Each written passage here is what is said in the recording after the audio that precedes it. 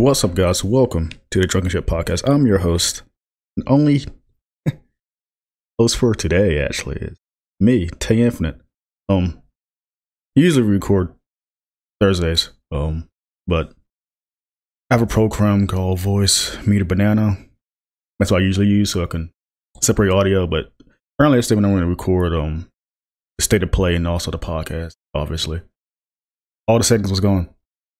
So uh, this morning, I woke up at three o'clock this morning. It's actually eight fourteen a.m. right now. Um,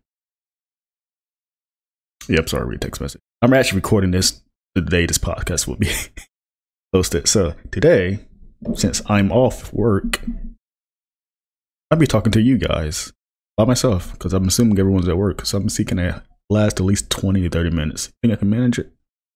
I'm just gonna ramble for you to listen to. Clearly, I didn't make my bed yet. Obviously, go to bed. I, I was busy. Um, I woke up at three. Just ate breakfast like an hour ago. So, just mess around. Uh, got this from Walmart for like ten dollars. I think it's warm. I want a bigger one though. A way bigger one. So yeah, what can we talk about to keep you boys and girls entertained. You know, um, yesterday sucked. To be honest with you. Went to, I went to the gym though the first time like in a week. It's nice. Actually did pretty well eating garbage lately, but I got on the treadmill, my 30 minutes, my casual 30 minute run, did a really good job. Breathing was great. That's gone. It was nice. Um, yeah, you know, I posted on Twitter uh, yesterday. Uh, I went from I uh had to go to Walmart after I left the gym, and um, minding my own business. This lady, uh, lady and her caretaker, which is daughter, stopped me and asked for them to pay for their uh groceries because lady is very diabetic, um, and severe anxiety, like constantly shaking like crazy. And um, like two thirty something, I paid for the groceries. I did it for him. The lady felt so bad asking me. Uh, I couldn't resist. I feel like it was the right thing to do. You know, it kind of made me angry because like, why we pay for these all these expensive medical bills? Which I get, you got to pay the doctors, but saying you leave some of these people broke. I don't. I just I don't know. Who knows? I did it, felt was the right thing to do. Hope they they're fine with that. I hope they're going good right now. But yeah, there's that. Some that. Um. Yeah. Uh. There's an apparently there's a Pokemon.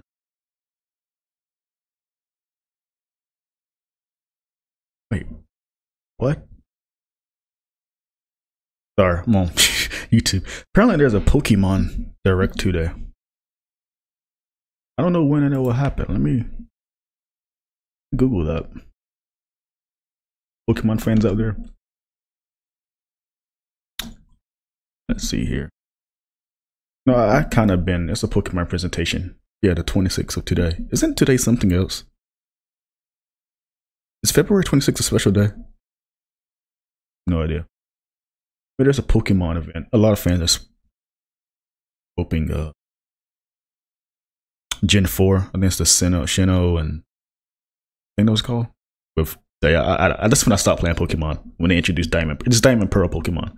That's when I stopped giving a crap about Pokemon. I just I don't know. I started losing um interest. Kind of got back into it back in high school. At uh junior year, junior senior year, around 2013, 14, I started getting back into Pokemon. Started playing Fire Red again, which is like my favorite Pokemon game of all time. I admittedly call myself a Gen 1er. I just prefer Gen 1. Gen 1 to 3 is my alley of Pokemon. I can at least understand what's happening. Because I, I, I, got Pokemon uh, Black 2 and White 2 2012. Is that when it came out? 2013. I don't know. I got it at Christmas. I got both copies for Christmas. Both Black 2 and White 2. And uh, made a boy and a girl on each version. When I played, I felt lost, ironically. Like I Does that does it make any sense? Like I just felt lost as a Pokemon fan. Like I don't know who these guys are. I don't know what land I'm traveling. I'm just playing this game, but the game was fun. Uh, the Pokemon there was uh was appealing to me. I do like the grass type I choose. I think his name was Snivy, Snivy. The first time I'm using well, well, third time choosing grass type. First was Bulbasaur, but my real first Pokemon was Charmander. But when I did replayed Fire Red, I choose Bulbasaur. But I choose that Snivy guy. Man, not bad. I think his third form, he's like a snake or something. Wasn't that great? There's also, which I may be recording today, I'm trying to figure out, is um IGN is doing a panel for a lot of Warner Brothers projects. So yeah, maybe I think they're showing some Godzilla versus Kong stuff. I think director Adam Wingard is coming to IGN to uh, talk about it. So I may do a react to that, which should be fun. excited for this movie, dude. The movie looks awesome. Real awesome. No, I'm one of the people that actually read spoilers of the movie, and it's lining up pretty well actually. I just hope Godzilla wins. The leaker didn't specifically say who wins, but say he does a even the director like a year or two ago that there's gonna be a definitive winner of the movie, which I think is gonna be Godzilla. You know, I be at work, bored thinking in my head, and um, I uh I was just trying to figure out this plot from the trailers, you know. And I was thinking like because the first two films established that Godzilla is king or god of Titans, whatever you want to call it. He's the the like the hierarchy. He's the top, and that's canon to the monster story. Um, so I think they will do something like Godzilla will beat Kong, and he probably maybe end up quote unquote killing him until Mechagodzilla appears, and Kong decides to like, hey, I can help Godzilla out defeat the real enemy. Sorry if I spoil something, by the way. Mechagodzilla, yeah, he's the final villain. Sorry for the spoilers, but yeah, Mechagodzilla's in the movie and the final true villain. Um, yeah, I, I think it's gonna end with Godzilla showing like respect to uh Kong, allow him to coexist. Uh, I can't get too much into it because it's, it's a lot of spoiler territory. But it could be fake, but I don't want to mention it just to ruin something for you, you know. Um, wonder how. Uh, yeah, I just say that talk because we actually talk about Godzilla versus Kong next week, but kaiju's and stuff in general next week. So I'll keep that talk to. I had to play yesterday. It was. Uh, we did react to it like earlier. It was okay. Um.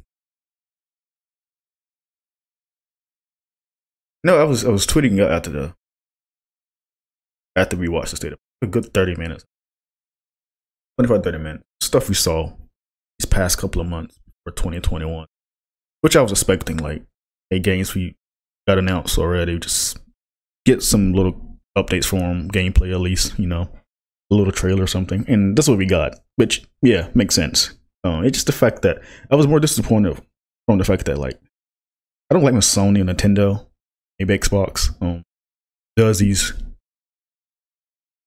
these direct things and like shows that it could have been an article or a PlayStation blog post. You see what I'm saying? Like I could have read about this. It's taking 30 minutes of my time away. I could have been doing something else. Have read this later tonight. I don't know. I guess they want to tune in more. I don't know. That's annoying. That's that's my biggest problem with the pod, uh, uh, the state of play. I didn't hate the state of play. I just I knew it was coming. It just it was just waste resources. You could have wrote that as an article, a blog post, or someone would tweeted it, and all of us would read it because if you're interested in the game, we will read it. You know. I don't know what. Yeah, I broke the Pathless. Cyber Shadow. I haven't touched it much though. I've been busy with work, but I want to get on into it. Let me get into that. You know, looking down, and I read this last night. Close with my mic. I read this last night. You see that? Yeah. Superman World of War. Worlds of War. I keep getting mixed up. Issue number two. Future state stuff. Things after DC's death metal. It's like the a possible future of DC. Which I, when I when I first discovered this stuff, like what the heck is the point of this? Like Elseworld stories or I don't know. I'm just reading Superman titles because it's the only DC character I care about nowadays. Dude, speaking of Superman, by the way, uh, February 23rd, Superman Lois, Superman and Lois, that's the show is called, uh, got released. You know, I did a trailer reaction to it a month ago, I think, a month or two ago. And, dude, this show, I'm gonna be honest with you, this show's awesome. So far, at least. I was, uh, I understand people concerned about, oh, it's a CW show, which I was one of those people. I do not care about CW shows anymore, but since it was Superman, I'm biased. But when I walked it, when I watched the show, like coming into the show, like I was expecting like either either like it or not like it. That was my expectations for the show. And uh it, it, sh- it shocked me how well it was. It was very unusual for your typical CW show. Um, the cinematography, they got this weird filter on it too. The CGI is better. Uh, yeah, it, what's this guy's name? Tyler? I don't know the actor's name. Tyler something. He he appeared as Supergirl as Superman. This is that version of Superman show. Now, uh, I didn't watch Crisis. I watched like bits of stuff on clips, but I understand what the Crisis is. It, what it did. It rebooted the CW universe, and clearly this show does that. Like he, um, I think Clark and Lois well, they had children in the original. Uh, did they have children pre-crisis on CW? I don't know. Put me to comment. But now those those siblings are older now. Uh, Jonathan and Jordan Kent. Jordan is a new character. Jonathan, I know. You guys know who John is. I was really shocked to see two children for Superman, Clark or whatever. But it actually pays off. Um, no, I'm gonna go. Okay, I'm at 13 minutes in. Spoilers. I'm gonna go spoilers with this show. Superman and Lois. But yeah, um So yeah, Jordan uh, has powers. Uh, there's a little fight scene. He goes to this Jordan goes to this party with his girl, Lana Lang's daughter. I got a character's name. She told him to go to this party with him, hang out. And he kissed Lana Lang's daughter and her boyfriend comes out just pushes or punches, I can't remember, Jordan. And Jonathan comes, like, hey, mess with my brother, you mess with me. So they start beefing up and fighting. And next thing you know, John, Jordan gets stressed out and shoots heat vision. Like, wow, that was a cool moment. Because we were expecting, because uh, John Kent was the one we all thought who had powers. Even uh, Clark and Lois thought he had powers. Because in the like er, around the episode they would mention like um he's like a jockey kid. He's a cool kid active young you know the typical young active kid um and i guess i guess kind of popular in school. I'm not sure. They don't really go into that. But he plays football and he was in um the only kid that actually managed to get to such a high level football of school. I don't know that mess or whatever it's called. And was wondering, like, does he have powers? Like, is he doing it because he have powers? And that's what Lois and Clark kind of speculated. The whole entire time it was uh, Jordan who had the power. But I do think um, John Kent would get superpowers probably midway or at the end of the season. Super Sons probably gonna be a thing. A reference to Damian Wayne John Kent's storyline. I mean nothing the same, but it's gonna be something. Super Sons, you know yeah, that was that was cool. Um, Tyler, I dude, I like him as Clark. I'm still iffy. Um, and stick with me this. Uh, he doesn't really look like Clark Kent. Did that make any sense? But he acts like Clark Kent really well. I'm not used to that seeing him as Superman or Clark Kent. It just he doesn't the actor doesn't speak Clark Kent to me in terms of appearance, but as the acting, yeah, he, fantastic. Um, just gotta get used to his face. It's so weird. Like this, how yeah, that's so funny. And hear me out. I talk about it every time it's Superman. It comes up somehow. But uh, Henry Cavill's Superman. I think he looks like Clark Kent. Or uh, if I read a comic book and Henry Cavill, I can see the similarities. He looks like Clark, like Superman. but his Superman was not my Superman. So it's like that. Uh, but yeah, I'm, I'm, it was like it was a good show. Uh, it um, it's just nice to have a good, in my personal opinion, uh, a good Superman show to look forward to. You know, because like the Snyder stuff and DC, how DCU is handling Superman, and how Warner Brothers is freaking handling Superman. Like they don't know what to do. Like, come on. I remember they made an article, but it was a bit a year and a half ago, something like they don't know what to do with Superman or how he's relevant or whatever. And it's like you look outside your window, look at the news, clear there's a Superman story right there. I mean, like at the time you had like President Trump or what we're doing right now, the coronavirus. How Superman react to that? You know? And it's like I'm just a just some dude that does a podcast that reads Superman stories. I can think of a story like that where a Warner Brothers executive can't think of a story for Superman. It's, come on, I don't want to get what's going on over there with that character. They can write deep, um, they can write freaking Batman stories, no problem, but they can't write a Superman story. It's so simple. The material is right there in your face. Use it.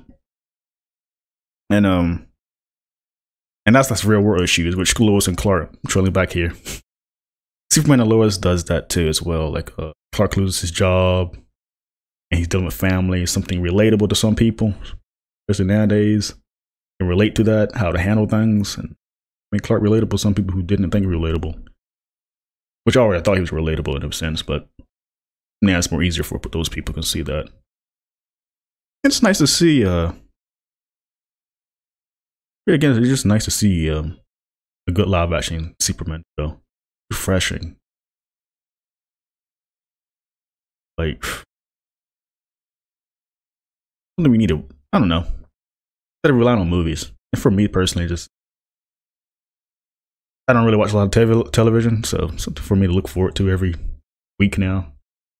Alongside WandaVision, which I finally watched episode. As soon as I woke up, I woke up literally three o'clock this morning. And I was like, no, I'll just stay up and watch WandaVision. Because Twitter will spoil you with some stuff. And the WandaVision's fantastic. I'm just rambling here. Uh, no, WandaVision is awesome. Um, like literally every week, um, literally there hasn't been an episode I've been genuinely disappointed with WandaVision, which is a great thing. And it's so funny. Um, talk about that later though, but um, yeah, like it's how does Marvel do that? Keep me engaged, you know, like no, the common critique of this show is like it's so it's so short. I mean, yeah, it's a TV show, but how Marvel does it, it's like a good 20, 25 minutes of content in six minutes of credits. And it's like it's so good. But when you get engaged, it's it's over. Like, oh, it's like Sonic Forces. Once you get into slightly entertained, it ends. Yeah, and let's let this episode was really um crazy, dude. Um, goes deep into Wanda's like psychosis. How he's a messed up character. He's a tragic character. I feel bad for her. She lost Vision. She lost her brother, her family, which this episode, spoiler alert, shows that. And it's like, oh, Jesus Christ. So you feel for her in this episode. Just her and Agatha's are meddling with like showing her different time periods of her life and from as a kid to being an Avenger, like all through that. It's really messed up. And um you know, like I know Elizabeth Olsen. I think Elizabeth Olsen and um uh Visions actor, I think they Paul something his name. They uh they've been teasing an actor coming to the WandaVision show. Which I wish they shouldn't never did because fans are gonna speculate like crazy. It was Magneto, or it's a Charles, or it's Wolverine, or they always keep throwing some mutant out there. Which it could be anybody. I, I can't argue though, but I don't think it's gonna be any other. It could be Magneto. Who knows? Who knows? Next week is the last episode of WandaVision. But I think it's gonna be Doctor Strange. I don't know why Paul Bettany said someone he never met. I'm not sure what he was going there for there. Elizabeth Olsen says it's like a Luke Skywalker type of ordeal from the Mandalorian. Remember that? How Mandalorian after a period was an oh my god, holy shit moment. I don't think we're gonna get that WandaVision. I think they kind of overhyped it. I wish they didn't say that. Because I think fans' expectations are gonna be super high. I'm like, ah, God, why did she say that? I know she's excited, but God, you should never said that because now people are gonna think that people are looking for that scene particular and ignore what the show is giving you right now. And, and as soon as they don't get that moment, this entire show is trash to them, which I'm afraid is going to happen, sadly. Because this is a fantastic show. I was, uh, when they announced it, I was like, sure, WandaVision, okay. We based off that Tom King comic, slightly similar to that comic, I guess. But it wasn't my most anticipated MCU show. Uh, Falcon Winter Soldier was. And I'm actually sitting down watching it like, wow, this is awesome. Um, really good. Probably one of the best MCU material out there. It actually gives uh, Wanda and I guess Vision more character. Like this episode was fantastic in terms of Wanda's character. Like we see more going on with her life, and when you I, like I said, like when you watch MCU movies, it's cool to like watch the newest movie that tells you something, like what it, like that references something from the past movies. So when you go back and watch those movies again, it's like, oh, understand what they meant there, understand why they did that or something. And that happened to Wanda today. With so like you watch Age of Ultron and you see how they introduce you, like, oh my god, that's what Wanda went through. Like, oh, it's so good. I love that. I love that about MCU. I think MCU is becoming something more like a Star Wars now. Even though Marvel existed first, I'm talking about in terms of. I should be specific. Like in terms of the movies, uh, Marvel is coming like this Star Wars kind of universe where a lot of things can be connected, like grander scheme. You know, the comics already do that, but it's nice to see that in a TV show, a movie, franchise. Yeah, it's, it's just nice to see that. So I can't wait. But I was saying, like the, I think the character is gonna be Doctor Strange. I've been saying this for weeks now. Uh, I think most people knew that themselves. It's gonna be freaking Doctor Strange because she WandaVision's in uh what to say? Sorry, no, Doctor Sh- Wanda's in Doctor Strange too. This Doctor Strange Multiverse of Madness. So I think he's gonna make a cameo in this movie, in the TV show, and he's like, "Hey, come with me. I can teach you magic, it's chaos magic, and help her there. Be a little teacher or mentor from there." Um, yeah, that's pretty obvious. A lot of people are speculating that Wanda would maybe be a villain in uh, Doctor Strange too, because she's creating different realities and all that stuff. Which I could see why they said that. No, it probably destroys Wanda's character. I think it's gonna be Nightmare next movie for Doctor Strange too. That's the only. That's one of the few villains I know of Doctor Strange. Nightmare. I can see him coming. Um. Yeah. Um. Yeah. You guys should watch WandaVision fantastic show.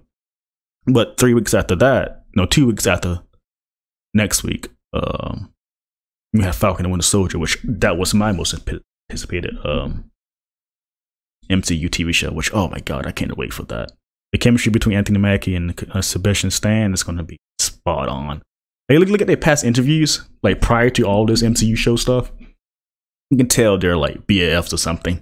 They're like friends in real life or something. So to see that in action film, it's gonna be awesome. I, I can't wait for that show. And, and I remember reading something or listening to someone else, and they made a good point how this is the most Falcon Winter Soldier is the most traditional Marvel content. It's probably why it's speaking to me more.